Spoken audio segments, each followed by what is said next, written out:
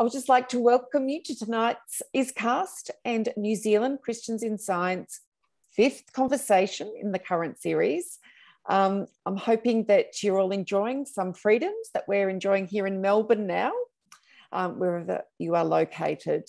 Um, I'm Sarah, I'm the Program Director for ISCAST, and I'd like to introduce He's, he's, already introduced himself, the Reverend Dr. Chris Mulherin, who's the Executive Director of ISCAST. Say hi, Chris. Hi. And uh, Dr. Nicola Hoggard Creegan, the co-director of New Zealand Christians in Science. And Nicola will be taking over from me in just a moment. But I will remind you of a few things. Um, if you've been enjoying these evenings lately, could you please tell others about them? And we'd also like to hear some feedback. So please shoot us an email and we'll encourage you to be, uh, to be frank, to be honest with us, because we really value your opinions. Um, we'd ask that you would keep yourselves on mute. And if you have a question, we'd like you to type it into the chat and Nicola will let you know when to unmute and then you can ask your question directly to our speaker. So I will just uh, welcome Nicola and she'll be taking over from things now and facilitating the discussion. Thank you, Sarah, and tēnā koutou katoa. On behalf of New Zealand Christians in Science, um, welcome from us also, and from um, a still locked down Auckland. Um, so this time, let me introduce a mathematician, Gray Manicom. Gray is a South African competing a PhD in mathematics at the University of Auckland. Um, with an interest in dynamical systems and heteroclinic networks. And if you don't know what those are, then he may well enlighten us um, today. He and his partner Janae were a part of a discussion group we held pre COVID at Maclaurin Chapel. Gray is also a pianist. He loves cricket, movies, and talking about ideas, which we hope to do tonight. So, welcome, Gray. And um, just before you start, though, um, Sylvia is going to pray for us. Sylvia, thank you. Lord bless mathematicians and scientists, theologians, and all thinkers, great and small that we may take account of you first and foremost. May we take into account those who count for little in our world. May we count our blessings and number our sorrows. May we hold our hands empty with nothing at all of our own. And may we grow little by little into your mighty, infinite love. Will we ask your blessing on this evening and our conversation, open our minds more and more, and uh, bless Gray as he talks. Amen. Great. Thank you for that wonderful introduction and wonderful prayer. Um, I'm going to be sharing my screen. So today I'm going to be um, talking a bit about mathematics and Christianity. And this is obviously a very big topic. Um, I suppose I decided to go a bit more broad than deep in terms of the content matter. So I'm going to be focusing on two particular questions.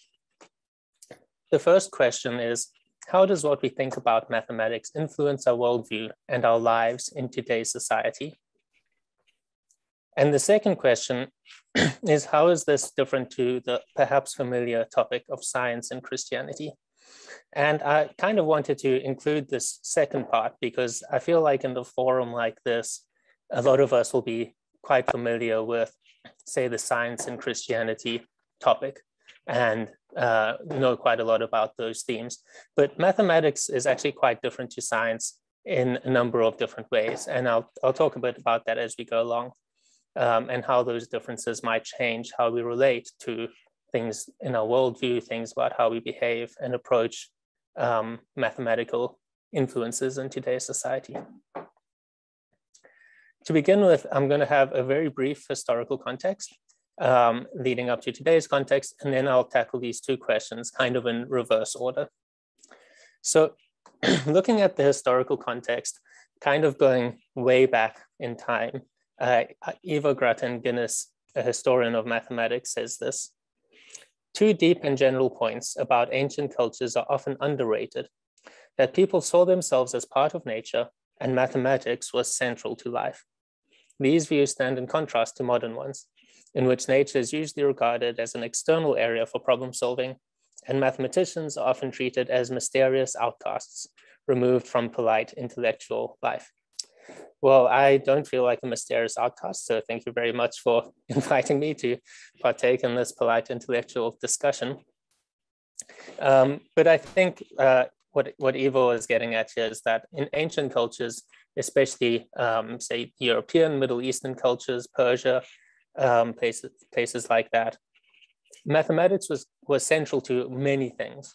And there was certainly no kind of separation between mathematics and theology and religious beliefs. And this kind of leads right up to just before the Enlightenment. Um, I'm going to briefly discuss three uh, really great mathematicians who are all alive at the same time, right at the turn of the 17th century. The guy on the left is John Napier. He was a Scottish mathematician. Um, and he, a part of his maths, he invented the logarithm. Um, but what he considered his greatest work was a, a work called A Plain Discovery of the Whole Revelation of St. John's. Um, and in this work, he uses mathematics and mathematical principles to predict the end of the world, the apocalypse, which he got wrong, I'm quite happy to say, otherwise none of us would be around right now. In the middle, we have Johannes Kepler, uh, very famous. Uh, he wrote a book called Mysterium, and it was a theological work full of Bible passages and theology, um, arguing for a heliocentric uh, solar system with the sun at the middle and the earth not at the middle. And although this was um, designed as a kind of theological work, it contained a lot of mathematical principles and a lot of mathematical arguments that he then later published in what would become Kepler's laws of planetary motion, a kind of foundation of astronomy for many years after that. The one I'm going to focus on the most is this one on the right, um, René Descartes. Uh, he wrote a work called Meditations. Um, in it, he uh, made a mathematical argument for the existence of God. Um, he was a really great mathematician, and his main focus and his main contribution revolved around bringing Greek axiomatic geometry into other fields. So in uh, Greek geometry, there was this kind of way of proving things using an axiomatic system, where one would begin with a few axioms or base assumptions that seemed really self-evident, like there was no ways that they weren't true. And you would assume those and then use mathematical arguments to prove everything upwards from that. So you'd start with this uh, foundation of as few assumptions as possible and build up from there. Descartes took this um, idea of um, axioms and used it in philosophy, where he would assume as little as possible and then build up from there, leading to his famous statement, I think, therefore I am, is his first axiom. Um, in terms of mathematics, he's famous for um, the Cartesian plane, probably most of all, uh, which gets its name from him. That's the X and Y axes that I'm sure we're all quite familiar with. He used that to um, describe the flight of cannonballs because he could now um, take algebra, which was Arabic, and geometry, which was Greek, and combine them into what is now called algebraic geometry. And so geometrical shapes were given equations, basically.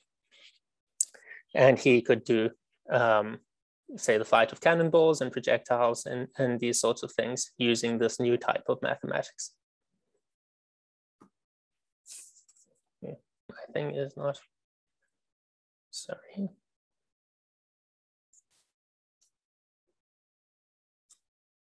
Okay. From Descartes until now, we see kind of two trends. And I'm using Descartes as a exam an example of how these kind of began, um, although it's not obviously entirely up to him. The first trend is that mathematics um, gets applied a lot, a lot more to what I'll call terrestrial physics. Before Descartes, before the Enlightenment, most mathematics uh, was either in currency uh, that's where most of algebra came from, or in art. Uh, that was a lot of the emphasis of geometry. or in astronomy. Um, but from Descartes looking at cannonballs flying uh, onwards, the emphasis became much more on things that we actually interact with in day-to-day lives. Um, here I have a picture of honeycomb, and one of the kind of famous recent theorems, recently proved theorems was the honeycomb conjecture, which said that the best way to cover a surface um, with as minimal work as possible is with hexagons, which is why bees use them when making honey. The other trend we see is not particularly within mathematics, but within philosophy. And that was the fact that Descartes' uh, kind of rationalism that he started, he's called the father of modern philosophy, um, ultimately led to positivism and um, kind of enlightenment principles. And this led to a kind of separation of mathematics and theology. Um, so mathematics plus positivism is kind of equal to mathematics without theology, um, where the kind of, let's say, the natural assumption that mathematics and uh, theology went hand in hand was set aside because when you're assuming as little as possible, you don't need to assume that God exists. And mathematics kind of built up from there. And so positivism and rationalism found a real home in mathematics and vice versa. And they kind of continued together for a long period of time. That doesn't mean that they weren't Christian mathematicians, of course not. It just means that most of their work separated the two. Coming up to today's context, rationalism and positivism uh, generally seem to be on the decline. I think most people in my generation find uh, rationalism to be a bit too cold, um, a bit too lacking in empathy for uh, human lived experiences, for stories, um, for the transcendental values which we all live by and which we all hold dear. And we also see that mathematics is on the rise, in society. We have technology becoming more and more uh, mathematics based. We have information becoming more and more key and important, most of it stored using mathematical principles or transferred using mathematical principles. And importantly, I think we see that most of the other sciences are also becoming more mathematical. Um, I work in as Nicola was saying, heteroclinic networks, but what I use those mathematical tools for is to model cognitive processes, where 50 years ago, um, I feel like psychology did not have much of a mathematical grounding. Nowadays, psychology has a very heavy mathematical grounding, um, as we've come to understand more and more.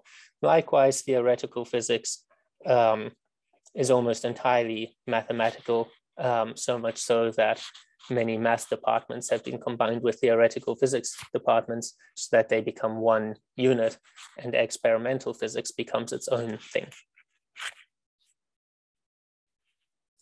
So this rise of mathematics um, and kind of gives rise to the, the obvious first question, how are we going to live in this increasingly mathematical world? And like I said at the beginning, I feel like in this kind of forum, perhaps um, we're familiar with some of the ideas around science and Christianity. And so I wanted to take a moment to think about what mathematics is and how is it different to science. In this little picture, I have some mathematical objects on the left. Uh, we have an equation, we have a perfect cube, and we have a matrix which contains complex numbers.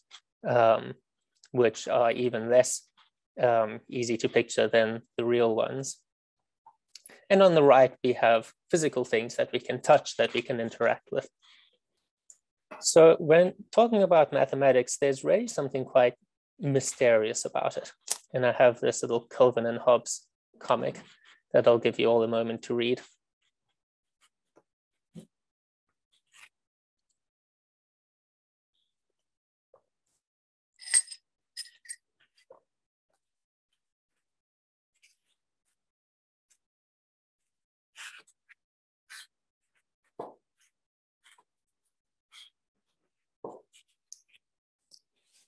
So I, I really like this comic, and um, it raises some good points, and particularly it raises the question for me of why don't maths atheists actually exist?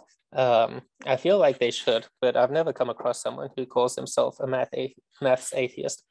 And I think the reason perhaps they should is because numbers aren't real. We don't interact with them or experience them in the same way in which we interact with or experience other things in science.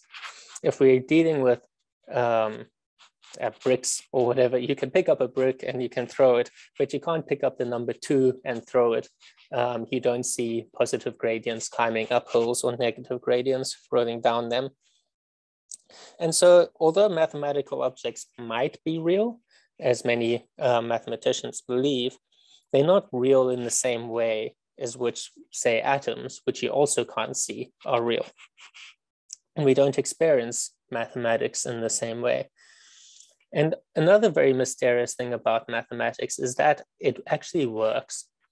Um, by that, I mean that it explains things that aren't mathematical themselves. For example, um, quantum mechanics is a whole field basically um, justified through mathematics and nothing else. Yet the objects within quantum mechanics are not mathematical objects. They are electrons and protons and quarks and all sorts of things that aren't mathematical themselves. And so it's kind of surprising or it's kind of mysterious that mathematical objects should give us so much information about non-mathematical objects, given that the mathematical objects themselves seem to be things that we come up with as we go along. Two particular um, parts of mathematics that are different, apart from just the, the sheer mystery of it. Um, the one is that math tends to deal with abstract objects. Um, in this little picture, we have physical things on the left and as we go along to the right, we make those things more and more abstract. Um, just like in abstract art, where abstract art distills the defining features of things we can see, mathematics distills the defining features of patterns. In a science paper, um, you might have a long methodology, which gives you a lot of very detailed information about the temperature or the pressure of the room in which the experiment was done and the exact environments. There are a lot of specifics to take into account when doing science and doing it well. But with mathematics, we completely veer in the opposite direction. We don't care that much about the particular details. Um, as William Lane Craig writes in his book, abstraction is subtraction you are removing, say, the fur of the dog and his name and these sorts of things, who his owners are, and becoming more and more abstract, distilling down to certain patterns or certain general representations that don't apply just to that dog, but apply to all dogs, or perhaps to all mammals, or perhaps to all animals, or perhaps just to everything that has four legs, um, or perhaps just to the number four. And so mathematics uh, tends to veer away from the abstract, while science often tends to veer towards the specific.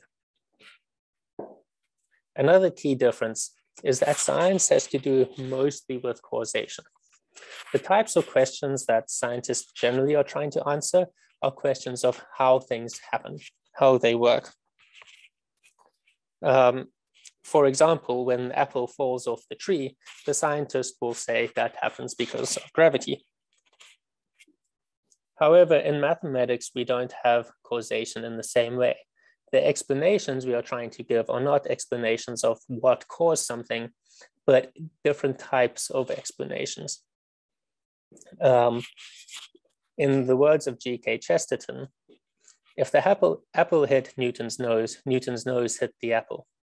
That is a true necessity because we cannot conceive of the one occurring without the other but we can well conceive the apple not falling on his nose. We can fancy it flying ardently through the air to hit some other nose of which it had a more definite dislike. We have always had in our fairy tales kept the sharp distinction between the science of mental relations, in which there really are laws, and the science of physical facts, in which there are no laws, but only weird repetitions. What I would say here is that he's calling the science of physical facts what most of us would consider to be science.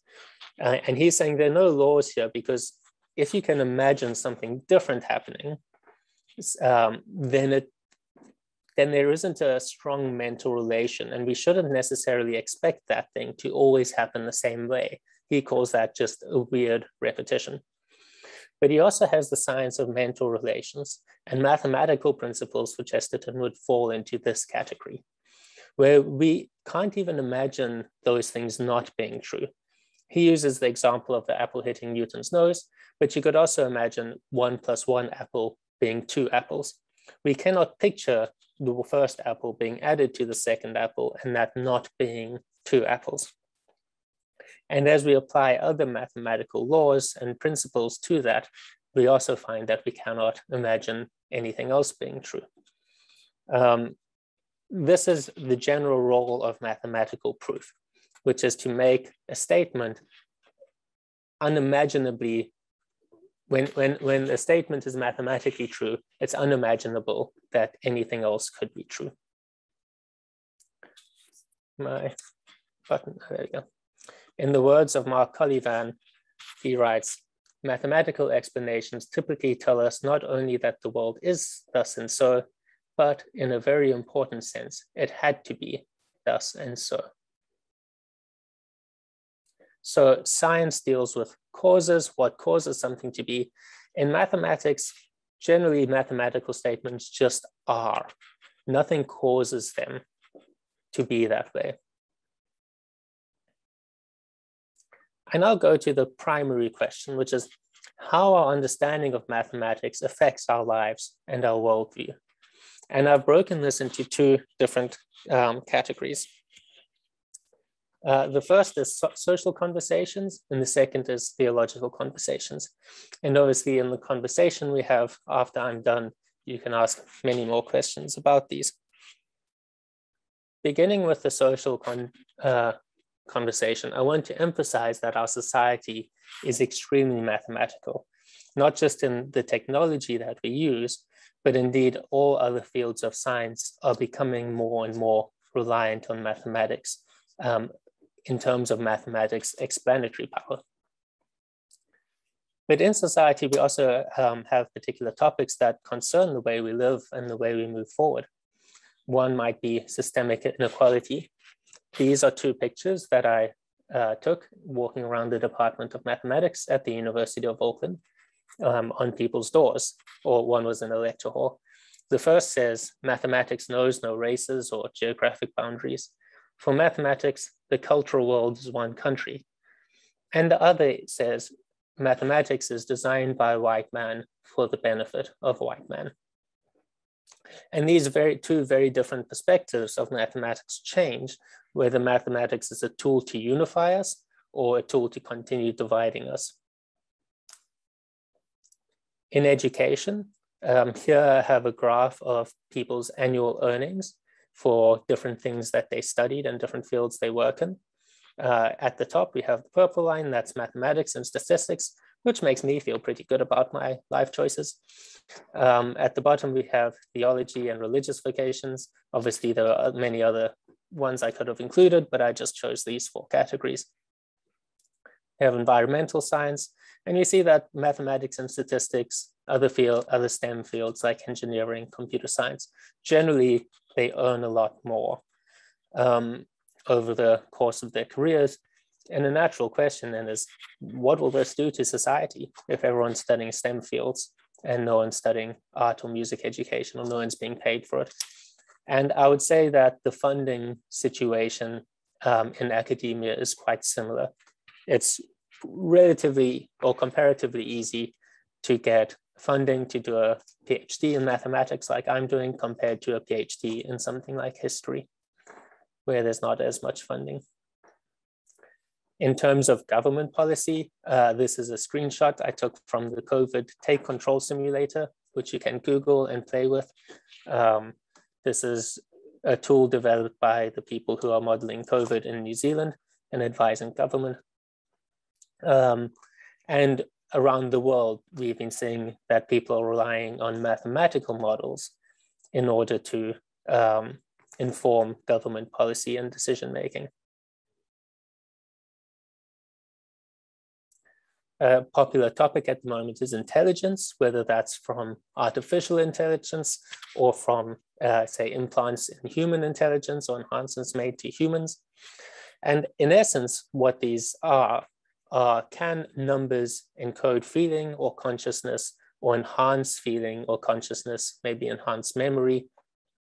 Um, and so there's a lot of interest whether mathematical tools uh, or mathematical objects can actually capture, encode, or ultimately be conscious or intelligent. And finally, data. Um, obviously, privacy is a big thing, um, which leads to, uh, say, big data is leading to targeted adverts and things like this. So how much can these numbers and algorithms manipulate us, reveal us, or protect us? Since almost all this is done purely by algorithms without uh, human intervention. The algorithm is set up and it runs, and in essence, it's a mathematical um, equation, as it were, that's manipulating us and revealing all sorts of things about us. And it's also mathematical algorithms that protect us in terms of encryption and privacy.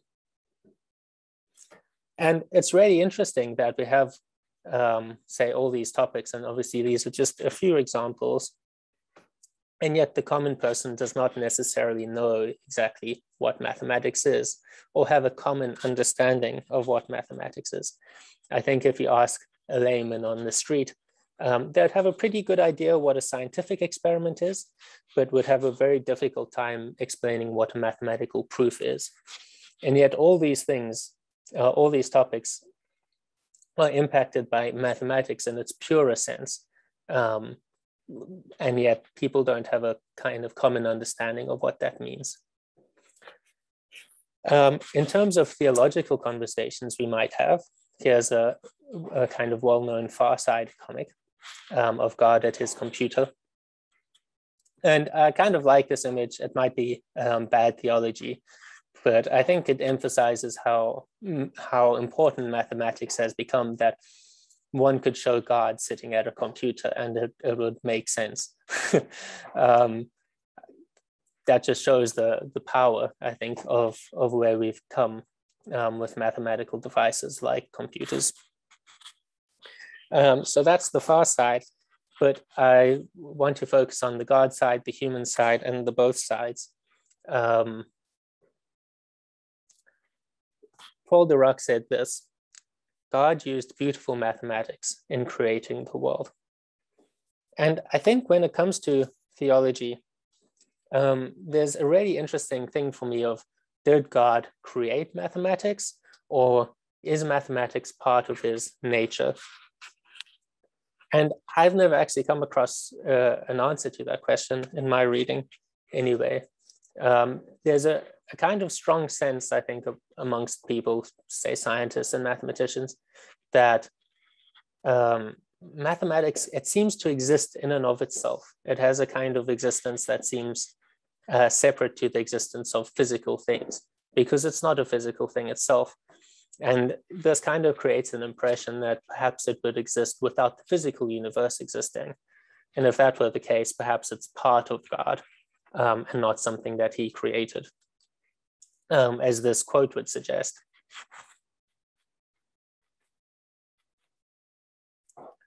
From the human side of things, I think like with all creative endeavors, when we do mathematics, we manifest God's image in a particular way. But apart from that, we also have questions we can ask. Why can we do mathematics? Should we do mathematics? Why does mathematics reveal to us that which our senses does not? And do we create the mathematics or do we discover it? And what would it mean in terms of our relationship with God if those were to change from creating to discovering. And finally, uh, the both sides. There's a, a, brilliant article by uh, Sarah Voss, and she talks about mathaphors, which are mathematical concepts and ideas that have become commonplace, um, say in theology or philosophy or elsewhere, and how um, the mathematical understanding gets uh, in turn affected by the understanding from these other fields. These include things like dimension, zero, infinity, randomness, chaos, entropy, prediction, proof, logic, contradiction, superposition, like Schrodinger's cat. This picture I have on the right is Salvador Dali's uh, painting of the crucifixion. And the cross here is a kind of high dimensional cross, as it were, to emphasize the fact that um, the crucifixion is, is in some sense a higher dimensional event that transcends space and time. And that would be a metaphor where a mathematical concept is being used here through the medium of art to describe a theological idea. And here we have a picture of Schrodinger's cat. Is it dead? Is it alive? Depends how you look at it, or when you look at it, or if you look at it. Um, and this kind of this this idea of superposition um, hiding as uncertainty um, can now be found all over the place.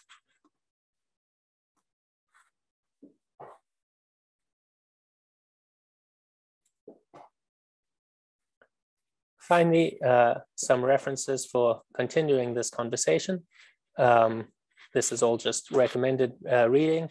At the bottom, there's the, the Mathophysics article. Um, yeah, and uh, now I'd love to have a conversation with you. Um, that was amazing. Great. Thank you so much. I am sure that people will have lots of questions, but they might take a little while to dream them up. So, in the meantime, um, I've got one. You've got one. Who's that? Uh, oh, Carolyn, please. Yes, yeah. go ahead.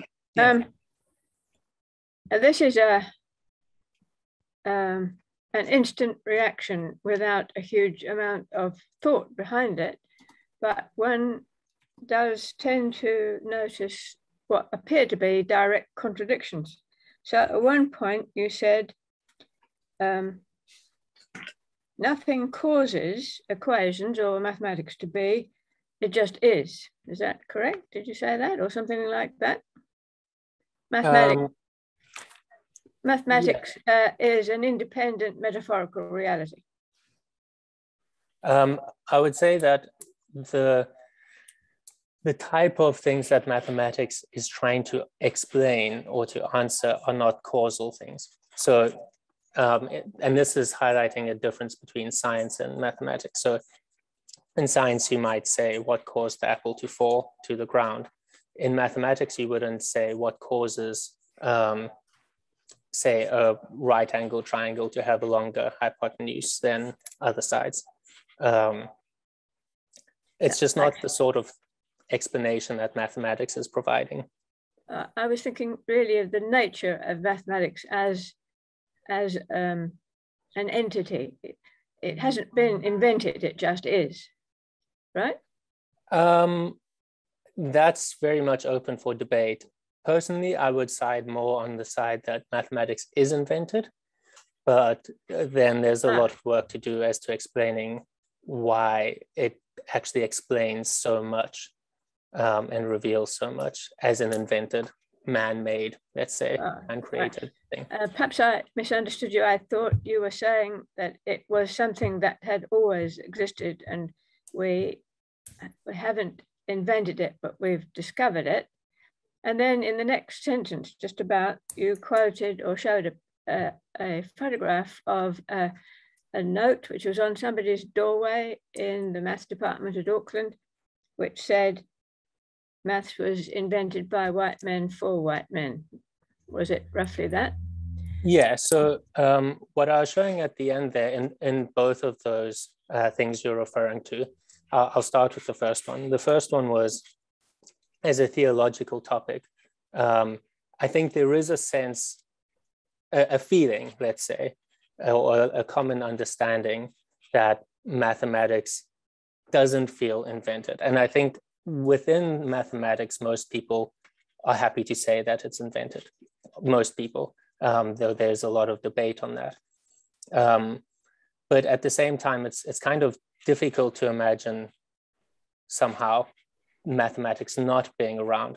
because of what I was saying, uh, uh, because of what G.K. Chesterton was talking about, it's it's almost impossible for us to even imagine uh, mathematical rules being broken.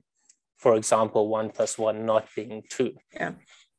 Um, in the second one, uh, when I showed the the pictures from the department, I was showing two sides, two sides of that argument. So on the one side, it was saying that it's a mathemat mathematics is invented by white people for the benefit of white people. But on the other side, it was basically saying mathematics isn't invented. It knows no uh, boundaries. Um, it's completely independent of human influence. Um, I don't think either of those statements are exactly true. Uh, I'm just kind of raising the question with that. Yeah. I'm, I'm glad to hear it.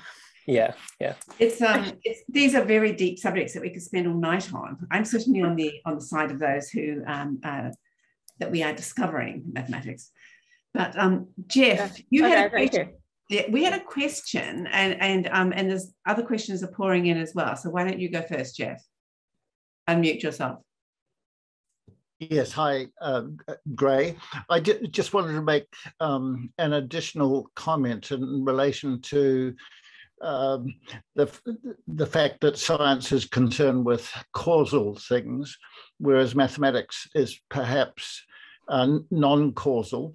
Um, the relationships, the causal relationships between things within the scientific world are subject to the second law of thermodynamics. And generally they're entropy producing, whereas um, if you want to hold on to the idea of causal relationships in mathematics, uh, it's not entropy uh, producing. Uh, uh you know, so um, there's no dissipation uh, within mathematical relationships, whereas there's always dissipation within um, real world relationships that science attempts to address. So I think that indicates that there is an, indeed a fundamental difference between uh, the two areas of investigation. Yeah, and the, the one thing I would simply add to that is um, in second year of physics, I remember proving somehow, although I can't remember how, the second law of thermodynamics. But the one thing I can definitely say is it was a mathematical proof it wasn't one based on experiment and observation at all. And in a sense, I think that's why people trust it, because how would you ever trust an experimental observation of entropy? The experiment itself is would by necess necessity be entropic and you know uh, disorder would be increasing in the in the system while the experiment was underway so um, yeah i think that again this maths is, uh, performs a different role to the scientific method in questions like that. Thanks for that example. In that case, um, mathematics is obviously some sort of um, anticipation of the eschaton then, you know, when things do not decay. Uh, um, uh, let's go to Nick, shall we? Nick Menzies. Yeah, hi, hi, Gray. Um, thanks for your talk. Um, yeah, I like the idea that maths is actually uh, like a language. Um, and as you can appropriate more and more advanced mathematical techniques, you actually find more and more about our existence and the universe, not necessarily the physical universe, but and like for example, Dirac, who you talked about, he came to a conclusion about uh, antimatter uh, from mathematics. Um, well, the maths gave him the language to be able to talk about antimatter. But then in ancient times, you know about, about uh, Zero's, uh, Zeno's paradox of motion. Um, Achilles can never quite catch the tortoise because when the tortoise has a head start, because back then they didn't really have an idea of the infinitesimal. And so, as we can understand, that came about through, I guess, Leibniz and, and uh, Newton. But um, yeah, do you think the societies do find that the, as they can appropriate more and more advanced mathematics, gives them greater and greater insights into actually the nature of God? Because it's a more advanced language to talk about a more and more advanced uh, person like God. Um, I would think so. I would think that's that's what that those kind of metaphors are getting at. Yeah. Um, there are some perhaps more apparent examples, maybe like infinity. Um, mm. You know, the the tortoise, uh, Achilles tortoise example would be a great one where mathematically the missing infinity left it as a paradox, where as soon as you have uh, infinity and infin infinitesimals, then you can kind of talk about that paradox in a in a logical, sound way. Yeah. Um, and obviously, the idea of infinity is closely linked to um, to God. Um, yeah. This was something Cantor, the set theorist, um, was quite big on.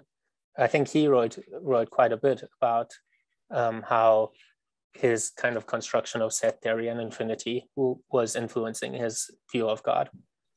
Yeah.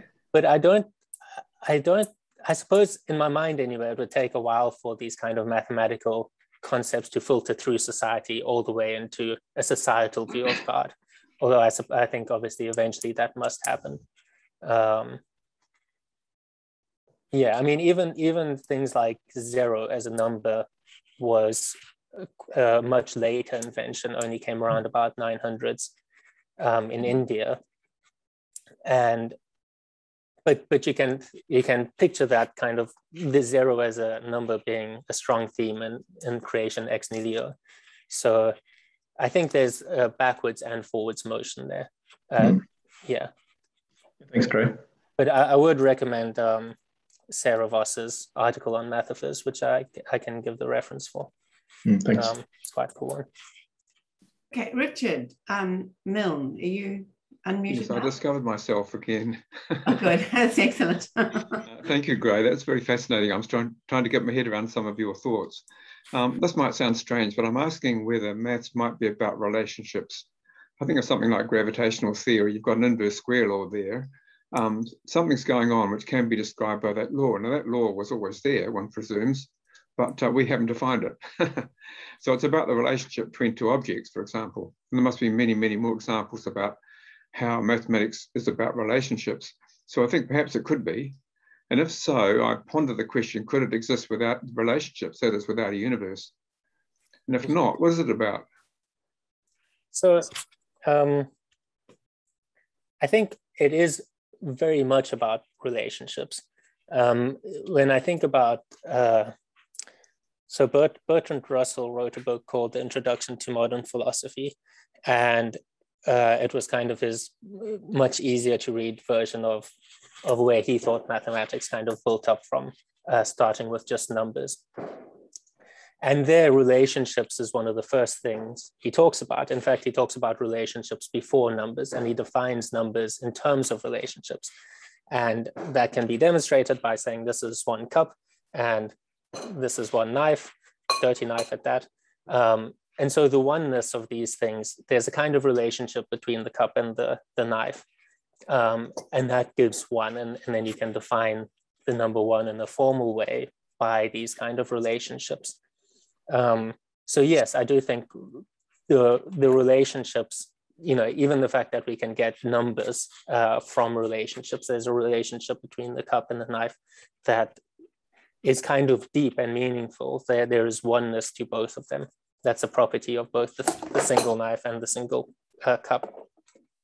Obviously, as you go further, I think mathematics is interested in patterns, and patterns come about through relationships. Um, but I, I wouldn't. I would say also that not everything is is just relationships. Um, because mathematics is constantly defining new ideas, new concepts, and new properties that don't necessarily have relationships to other mathematical ideas or concepts, or even relationships to anything tangible or physical. Um, in that sense, it's just, it's almost like a game that's being played somewhere else. And, and sometimes, um, in a kind of usually quite surprising way, it might turn out that the results of that game actually do have relationships to other parts of mathematics or to uh, real life, but the intention of that mathematics isn't necessarily uh, about relationships itself. It's just about the objects and, and the rules of the game, as it were. Um, but yeah, uh, obviously relationships are, are incredibly important um, with that. Yeah, thank you. So perhaps you're saying there are two types of mathematics in a broad sense. One's about relationships, the other is a bit more abstract. You're saying that? Yes, I think that's a good way to put it. Uh, mathematics as applied to physical sciences generally is about forming relationships between things. My field of dynamic systems is how things evolve in time. That's a relationship between a thing and itself and time. Um, and so, yeah, yeah, I think the more applied the mathematics is, the more about relationships it is. Sure, thank you. Okay, all of these questions could be, you know, it's the subject of another lecture. Um, Antonios, do you want to give your um, your question, please?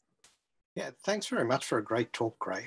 Um, I, I, like you, I'm, I'm, perplexed by this question of did God invent mathematics or create it, or, or is it somehow just there and God just uses it? And there seem to be two horns. So either God um, did create it, in which case it should be possible for it to be different. And you know, God could have made the world so that one plus one equals three, but he chose not to. And that seems a very odd thing. But then the other horn is God didn't create it, but then that would mean there's something that exists independently of God. And that doesn't seem acceptable. And actually, as I, as I was um, waiting to ask my question, I, I struck upon a third possibility. Um, what if mathematics is in some way just a reflection of the essential nature of God? Um, so it's not created. Maybe when God is manifest in the world, he's not just the word, but he's also the number. um, and, and I think the Greek word, you know, logos, probably admits of a much broader interpretation than, um, mm. you know, a verbal uh, mm. you know, a word. It means something much more than that. Rationality generally. I, I wonder, do, does that sort of help at all in resolving that problem or, or not? What do you think? Um, well, I tend to agree with, with the last one. Um, this is something I, I, read a book by William Lane Craig called God and Abstract Objects. Um, and in that that book is he basically he he puts forward this idea that um, God is the only being with aseity that should exist in and of its of itself. Um, and yet mathematics seems to have this kind of property of aseity. Uh, he's not speaking particularly about mathematics, but ob abstract objects in general, but most of his examples are mathematical. Um, and he in that book, he goes to great lengths to, let's say, explain that mathematics does not have the property of aseity. And when I finished that book, I kind of came to the exact same thought that you had. But surely, if holiness and love and these sorts of things, we don't say God created them differently, right? This is um, what's it, Euthyphros? Is it Euthyphros? I don't know the old Greek thing. Is, is it good because it's God or uh, God said so, or is uh, God saying it because it's good? Um, in my mind, it's God is a mathematician in that sense. Mathematics is part of him. Um, but the I suppose the trick with that then, for me personally, Nicola might find this a much easier to, thing to, to deal with, is when I sit down and I write down a mathematical theorem or I read a paper by someone who comes up with a new theorem.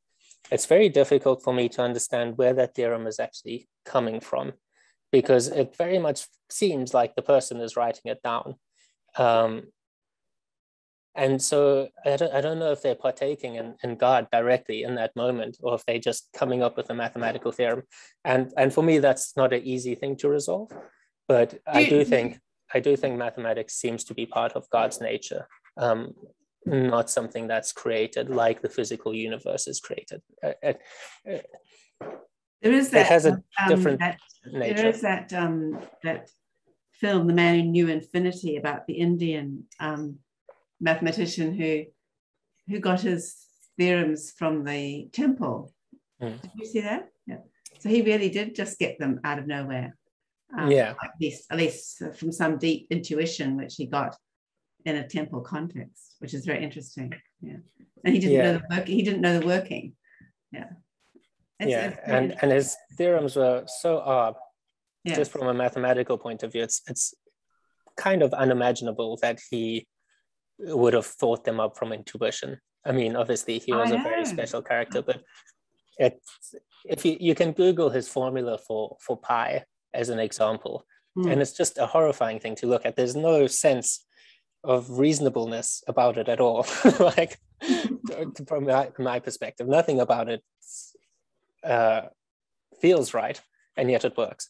So mm-hmm. um, yeah, there there is something mm. Something kind of mysterious that seems to be happening there. Okay. Um, Thanks very much. Yeah. Um, let me see. Um, Hugh, do you want to give a um, give your question? Hugh Kim? I'm sorry, we're not going to be able to get to all the questions. Hugh, are you there? Yeah. Okay. Um, you have to. Sorry, you're, you're muted. Hugh, are you still muted? We had this problem last time with Hugh. Microphone. Can you hear me now? Yeah. We, okay, I'll just try tried another microphone.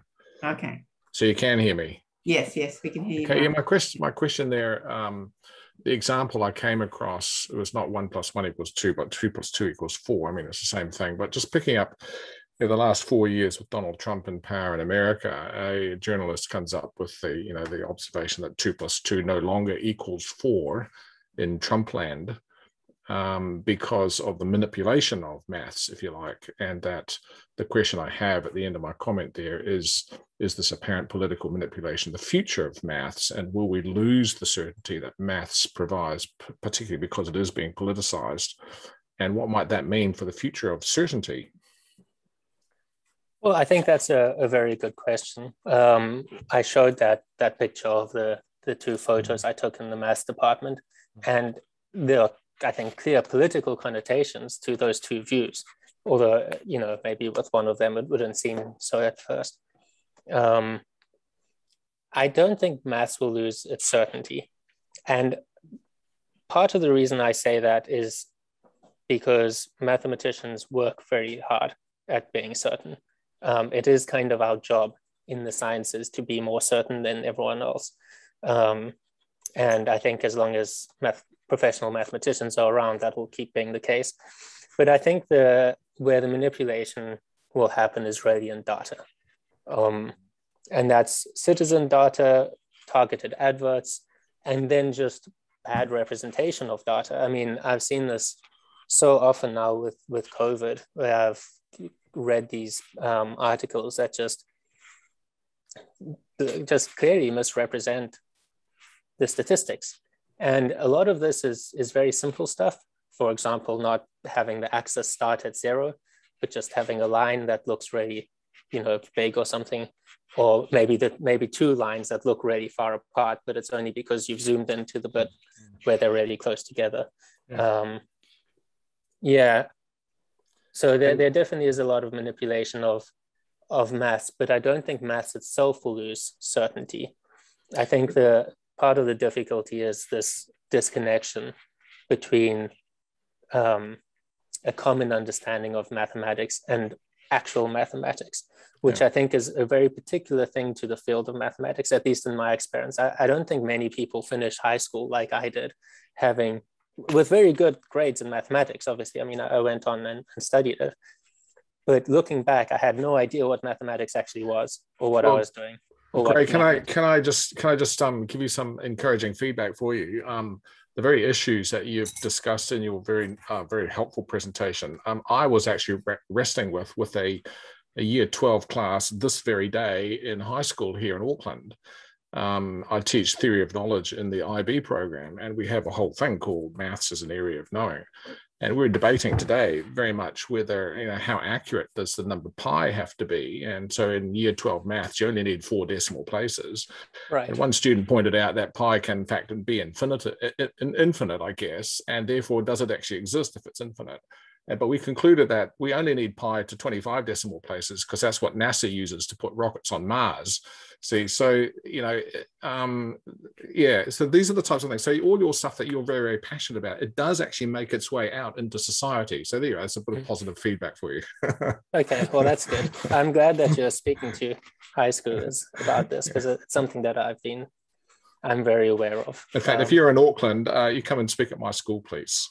I am in Auckland, and I would love to do that. Okay, I we will... need to exchange email addresses. yeah. Okay, I can put you guys in touch with each other. Um, we can't get out of Auckland, so we might as well talk to each other. Um, so we really only have time for one more question and then we will finish. And then perhaps, Gray, if you've got a bit of time, we might, um, for those of you who want to, we can just um, spend, uh, you know, another 10 minutes or so answering questions after we finish. Um, Stephanie, would you like to unmute and ask your question? Thanks, Gray, for great talk. Um, I was just wondering about being in um, in dynamic systems my, myself, but from the engineering side, not from the mecha mechanical side. I, I, I model physics objects, systems, multi-physics objects, but I do model biophysics um, as well. And I see a huge difference that um, the equations in physics are compact and beautiful, as I call it, um, versus biophysics when you describe um, physiological modeling and and um, like um, diffusion equations or calcium um, concentrations in a cell, it's just lengthy and ugly. Do you think we we still have a hidden language that is kind of part of mathematics that we have yet to dis discover? I wouldn't think that we have a hidden language. Um, I think we might have hidden techniques of making things lower dimensional. So, um, I mean, as if we just think about approach, aside from the dynamical systems perspective now, if we just think about data, when you approach data there with lots of data points, the first thing you would do is, is maybe k-means clustering or something, just a way of grouping lots of data points into, into groups. And that way you have fewer things to think about. You know, if you can group all your millions of data points into three categories, then you only need to think about the interactions between those three categories. Um, in, in my work, modeling cognitive processes, um, I take this approach of making things low dimensional. So in, in my models, I like to think, I in my mind, I picture MRI images and not individual neurons because the whole network of individual neurons is basically trying to do one function.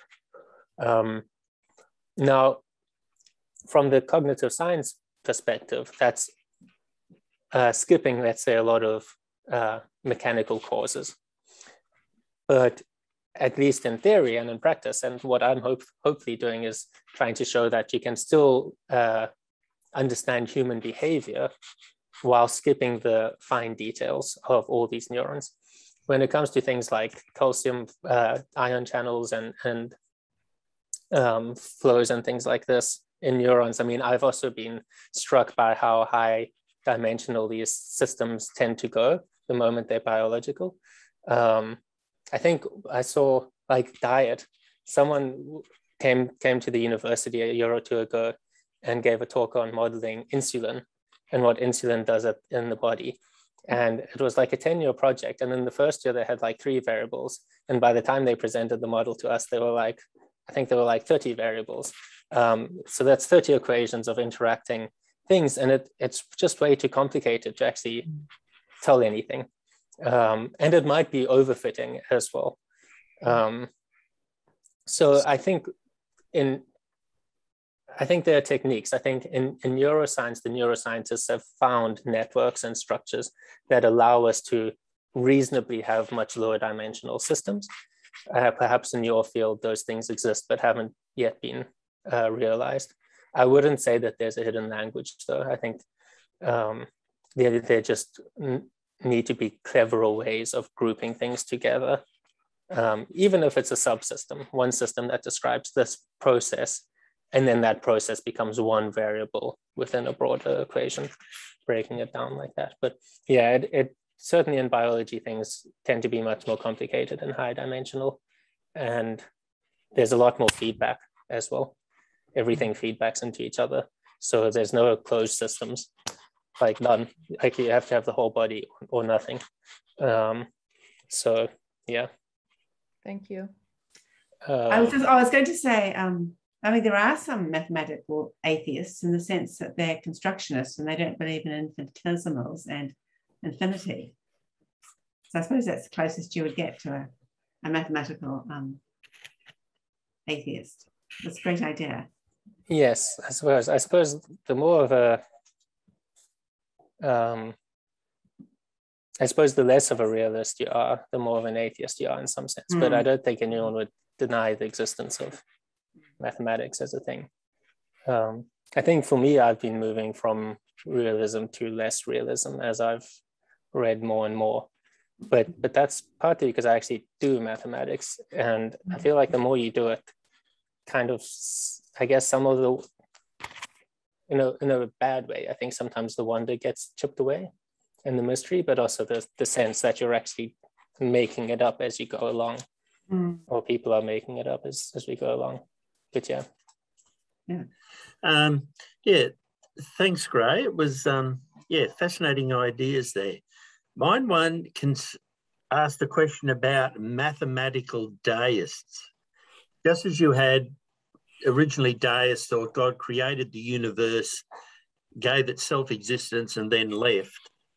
Um, it appears to me a lot of people might think mathematics is like that.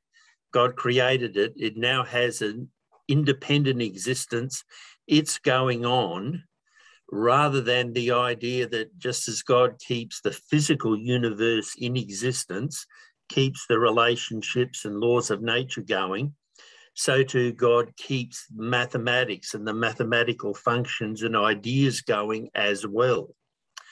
Um, any reactions to that idea of mathematical deism?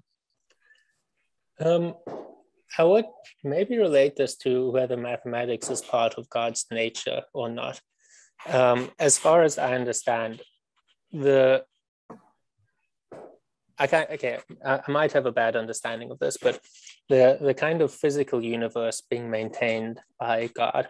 Um, I think of I think it was Aquinas who had this argument that every cause has another cause and has another cause, and so fundamentally there must be something which causes everything else that itself is not caused. And that thing must be constant through time, and that thing would be God. I think that argument doesn't necessarily apply to mathematics on two, for two reasons. The first is that mathematics doesn't seem to have a cause. So, you know, one plus one being, you wouldn't say one plus one causes two. It's just one plus one is two. And so it doesn't necessarily feel like there's something causing that equation to be there, uh, to exist. Um, and, and so I don't know if you can apply that same kind of reasoning. Now, I might have an overly simplified uh, understanding of that argument. The other side of it would be, I don't know if we say, uh, like we say, God uh, sustains the universe, the physical universe, but I don't know if we say that God sustains holiness or righteousness. I think we say that God is holiness and is righteousness and is goodness. Um, and I would say that he he is mathematical. And if that's the case, I don't think he needs to sustain it. I think it's there by his presence, um, by his existence. So I think it's uh, maybe maybe that's saying the same thing in practice, but it feels slightly different to me. Uh, I think there is a slight difference because, yeah, you when you talk about holiness, that is part of God's character. But with the physical universe, it's not part of God or part of God's character, hence not pantheism. Uh, it is different, but it, God upholds it. And I'm wondering, is mathematics in that category? Or, like you're saying, is mathematics something to do with God's nature? Uh, yeah, uh, food for thought, all right. Yeah. Thank you very much question. for raising that and other questions. Yeah.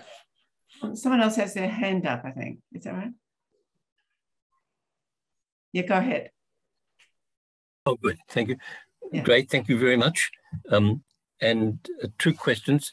Um, one, which I'm not, I'm not really clear about, but I'll at least I can, I can ask them.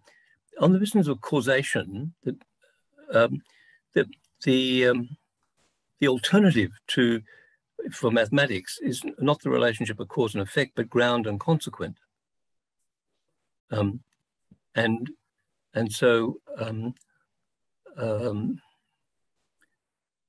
um uh, uh, all I want to say there, I think, is I need I need another set of terms like um, where did I first come across this? I came across this first in chapter three of C.S. Lewis's Miracles.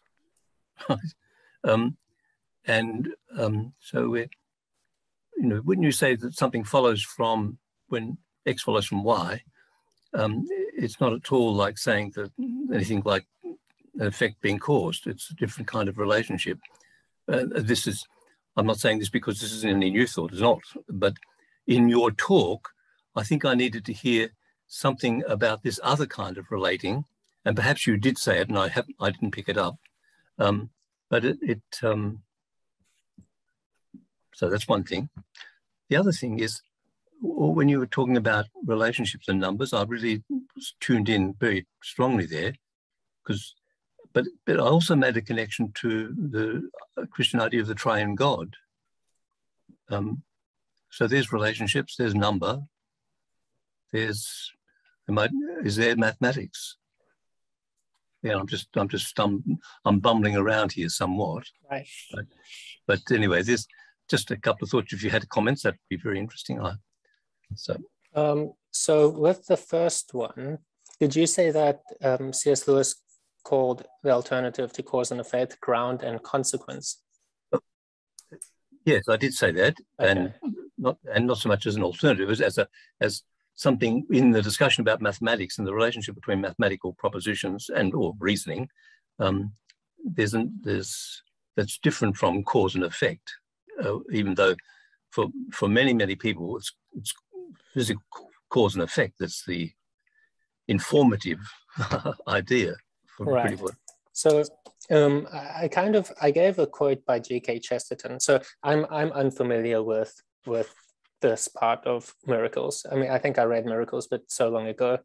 Um, but I, I, did I did give a, that quote by G.K. Chesterton, and in, in his book Orthodoxy, he has a chapter, maybe not a whole chapter, but he has something called the, the test of fairyland.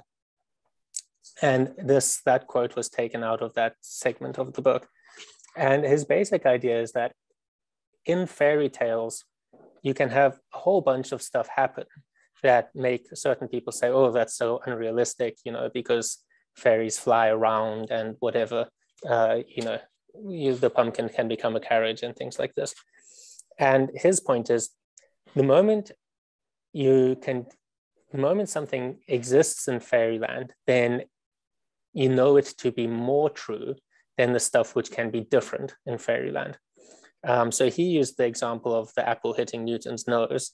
And he says, well, when the apple hits his nose, the nose is also hitting the apple, Newton's third law. And we can't imagine it being otherwise. So he calls that a mental relationship and not just a physical repetition, um, where he would say that gravity would be something that we just observe, it just repeats itself. It's just a, what he called a weird repetition. Um, but we can imagine gravity not working. We can imagine that apple falling and then taking off, like in my little GIF.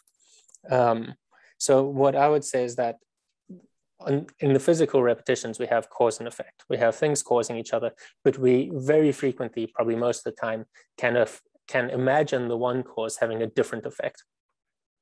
However, in mathematics, that tends not to be the case.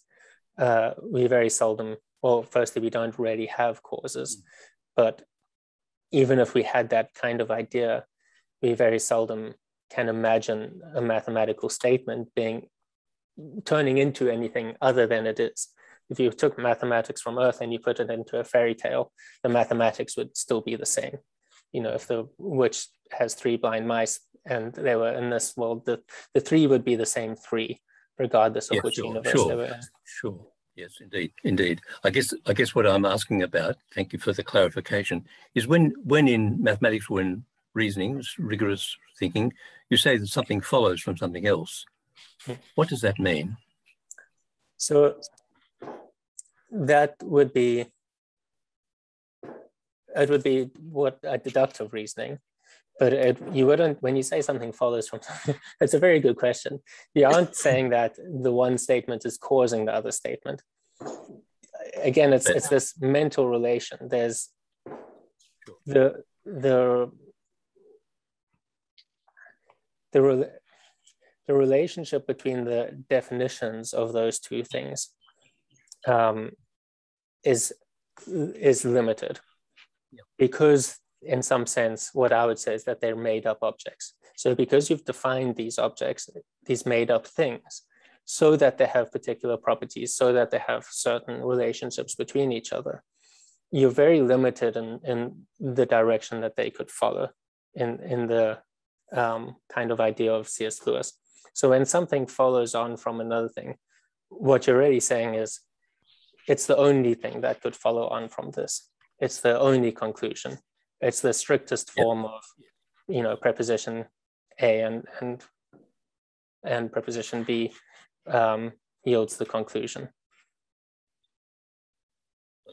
But but obviously that also depends on which type of proof you're looking at, and there are many different types of mathematical proof, and some of them might have different ways of conceiving following on. Yes, That's right. So it's, but it's, so it's the the relationship of following on um, that I'm I'm interested not not right now, but I'm interested in unpacking, and and as, as you're indicating, that could not, there's not just one sense of following on, but it's certainly not something like um, um, one ball following from another, having been struck by it. It's not. It's a yes. quite different sense of following and an interesting uh, sense of. So thank you. Yes, thank you for that.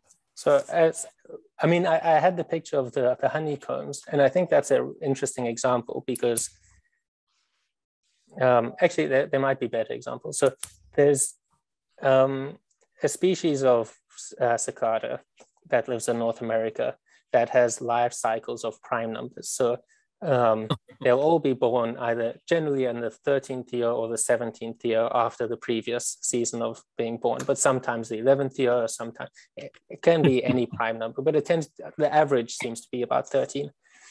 And that's kind of fascinating. I mean, why prime numbers, right? And it seems like the mathematical explanation would be that all the predators that eat the cicadas don't have prime life cycles. So if you're trying to dodge all the predators, then you want something prime so that you're not falling into the same birth cycle as all the same predators over and over. Now, there you see that there's a kind of biological explanation through the theory through evolution, but there's also a mathematical explanation that doesn't, you wouldn't say the mathematical explanation is causing the yeah. to be born on prime number years. It's, but it's providing an explanation that's different to the biological yes. one. Yeah, yeah. And, and so the, the, the birth cycle kind of follows on from the mathematical idea, but I, I, don't know how to use the word follow on there precisely. So that's good. Makes it even more interesting. yeah. And Thank then regarding the triune God, um, I wouldn't put too much weight on that being a mathematical state. I wouldn't say, you know, um, uh, God's nature is mathematical because there's a triune God or, or anything like that. I mean, I, I think that is is much oh, deeper about relationship and, and love um, than about number. Um, but obviously, in ancient cultures, number and numerology was incredibly important, and um, yeah, and very symbolic. And in, in a sense, number was often worshipped, for example, by the ancient Greeks. So. I guess I wasn't, I was thinking numbers and relationship, God and relationship, uh, God is three and God is one. Um, uh, itself a difficult moment, perhaps, but but um, on the other hand, the, the, you're talking about numbers and relationship did resonate. Uh, quite what the resonance is with uh, understanding of the triune God. Well, that's another question. That's that's uh, you know that's take a night or two on that. But um, but but but but the resonance at least suggests connection, mm. which which is interesting. So, yeah. Well, thank you, everybody. Um, Gray, thank you so much. It's um, you've obviously done so much reading apart from your mathematics, and it's just made for such an amazingly interesting um, talk tonight. And and we could go on for hours, but we all have to go other places. So I asked um, Dawn if you would please um, help us to finish in prayer. Thank you. May the vast reservoir of your creative wisdom, infinite God, flow through us and energize us for our vocations. that we would be guided by your Spirit, inspired, just like the writers and editors of Scripture, which you intended us to have. May we therefore partake of you and encounter you, creating, judging, healing, recreating in the personal presence of Jesus Christ. Thank you for what we have learned tonight and bless Gray. Draw close to us when we are lonely, when we are perplexed, and encourage us within and through this organization and your many people throughout your world. This we ask through Jesus Christ, our Savior. Amen.